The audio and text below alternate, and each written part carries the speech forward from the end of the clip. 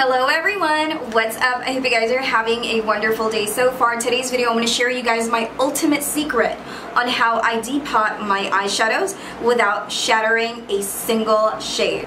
Now before we go ahead and start, I just want to let you guys know that this doesn't work with any plastic packaging. It only works if your palette is made out of cardboard. I will be depotting my Be Bella and my Juvia's Place palette. I love these palettes so much and I am pretty confident that none of these eyeshadows will crack. That's the reason why I'm going to depot them. Now enough of the chit chat, let's go ahead and get started. So first what you want to do is to sanitize your hands. I have my handy dandy alcohol spray right here and if you can hear the electric fan, I do apologize. It's just been crazy hot and it's actually so difficult to film but uh, I just can't help it. I wanted to film. I have a spatula right here. What you're going to do is that you're going to take a look into the side of your cardboard palette and you will notice that there is actually like a platform separating it from this thick cardboard right here. Now, it really depends on what type of eyeshadow palettes I wanted to depot. This is not like a limited edition or anything like that so one of the reasons why I want to depot it and the quality of shadows are amazing. So you will see on the side there's like a separation right? What you're gonna do is that you're gonna get like a spatula and you are going to start to poke right here in the middle of the shadows okay In the middle of the shadows let me do it here, like flatly. Okay, I have my spatula right here. You guys see the separation here, right? From this actual cardboard to like the platform here. So what you're gonna do is that you should have something like this at least to make this um, thing more effective to avoid like broken shadow. What you're gonna do is that you are going to poke starting from one side slowly and it has to be in between the shadows. You know what I mean? So you're going to hold it firmly.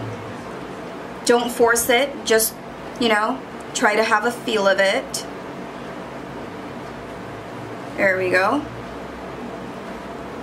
As you guys can see, the whole head is there. And just try to like twist your spatula like that. But again, try to, you know, be very gentle with it. Don't be like so aggressive, okay? I know it's so exciting to take out all of the shades from the pan, but um, again, I am poking in the middle of the shadow. So as long as you're following these steps, then your shadow won't die. It's starting to lift nice and slow. You guys could hear John Ray in the background enjoying himself. And then in the middle, then in the middle,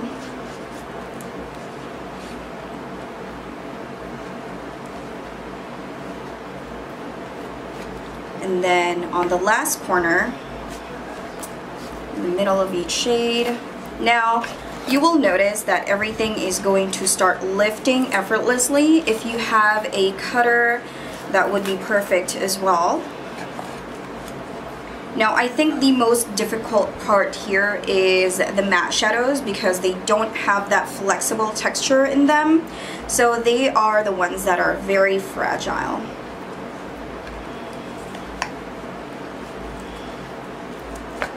Just go all the way around trying not to rush lifting it up. Just have a feel of it.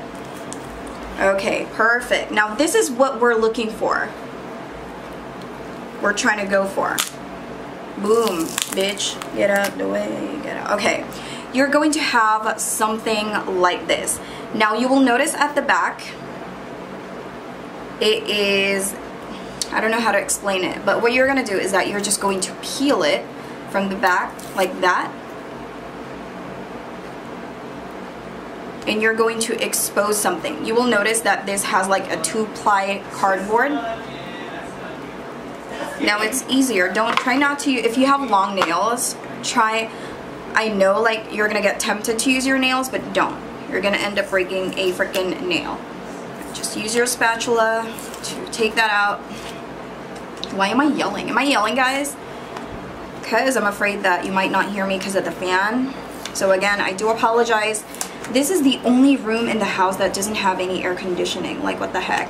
So I actually forced John Ray to like switch rooms, like the master's bedroom to my makeup room. And of course he said no. so I'm gonna be continuing on doing this until I successfully expose each side. So you can see that there's like two cardboard separations again, but we're gonna go there later. I just wanna finish this up. Don't be impatient. Don't be like me. Oops.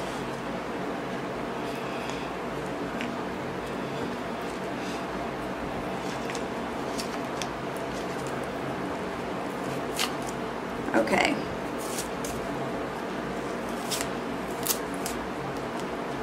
Now you're probably saying like, why are you not saving the name of the shades? Now, how are you gonna, I can just look it up on the internet. I don't really make any tutorials anyway. You will notice that there's like, in every palette that I depot, there's always like a magnet here on the side. Take them out. Ooh, I can't even remove them together. What is this? These are strong magnets. Let me just put them on the side.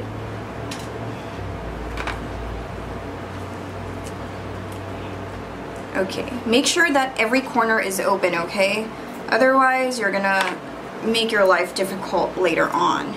If you have a cutter, that would be perfect.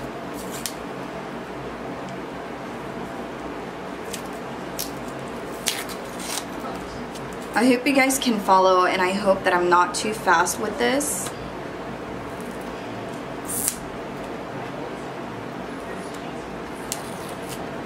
Okay, perfect.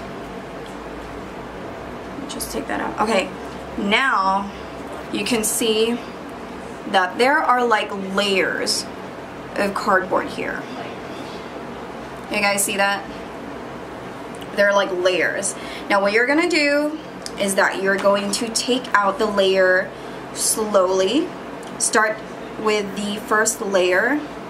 Again, poking in the middle of every shadow. If you can lift it up, that would be perfect, but just make sure that it's not hitting an eyeshadow. Because if it does hit an eyeshadow, boom girl, you're gone, bye, it's cracked. Then if you can peel it, then gently peel it off. Now try not to rush. Again, you know, just be patient with it.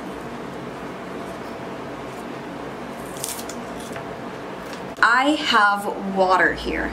Now you're probably gonna ask, like, Jess, what are you gonna do with that? I'm gonna give it to you because you're thirsty. No, I'm just kidding. okay, you probably already know the trick. I am going to pour a little bit of water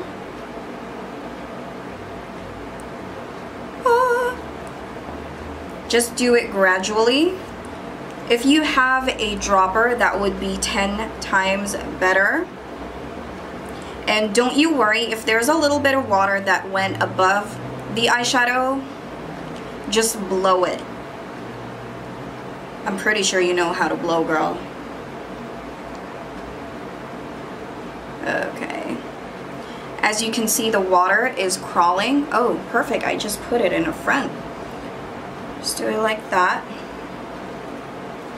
Now, you probably get the idea of this one, right?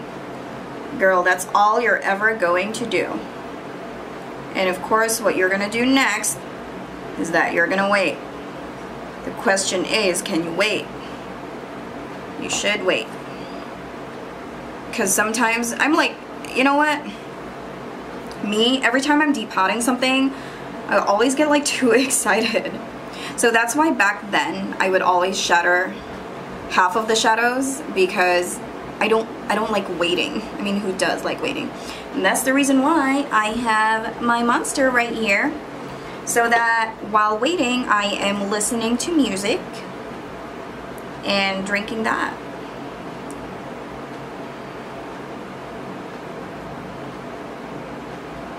So making sure that the cardboard drinks water.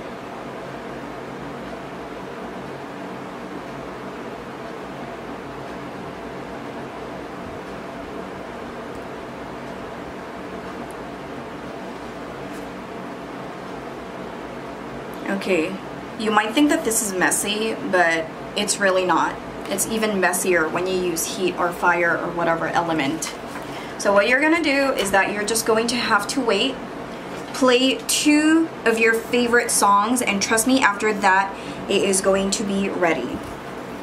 Now I'm gonna play two songs and I will be right back. Comment down below what is your favorite song at the moment and I would love to hear it for sure. Okay guys, songs are done. Now it is time for the big moment. Ah. See how easy that is? Now at the bottom, you will be surprised on how easy they peel off. And if you, this is a matte shade, so I'll show you. If you feel like the glue is still very much intact with the pan, I would suggest you soak it a little bit more, play two more musics, and that will fix the problem. See how easy that is? So clean, so good. Moving on to another one. See how easy that peels off? And best part is that it just needs water. You're not going to be spending anything on electricity and I bet you this doesn't even cost almost like nothing. Okay.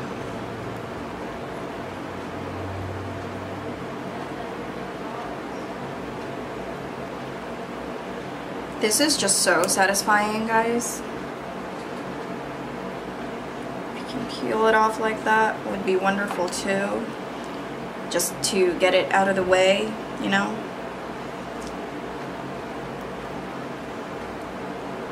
Can just peel it super fast like that. Bend the bottom.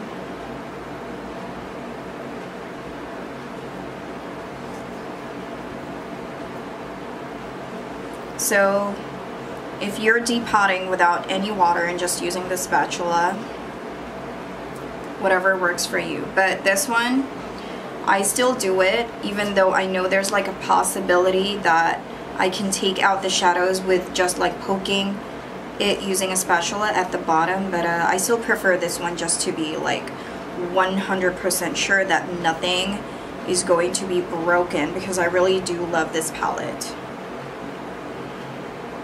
Now for example this one, it's tough. So I'm not going to force it. I'm going to leave it alone, okay?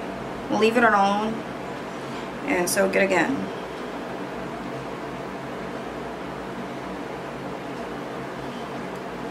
As for the other ones, I'm just going to take it out. Bada beam, bada boom, bitch. Okay, that one is tough. It's my favorite shade in this palette. I'm not going to mess this up. What I'm to do, put water. Ah. Okay, go there, please. There you go. This one. Okay, this one is still tough. Okay, that one is still tough. That one, nope. Nope, okay. I'm to leave it alone, give it a little rest, add more just to be sure. Because again, oh, okay. Now this is the part I'm gonna blow.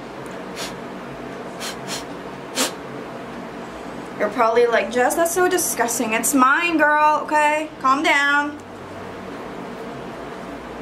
You blow a lot of things, girl.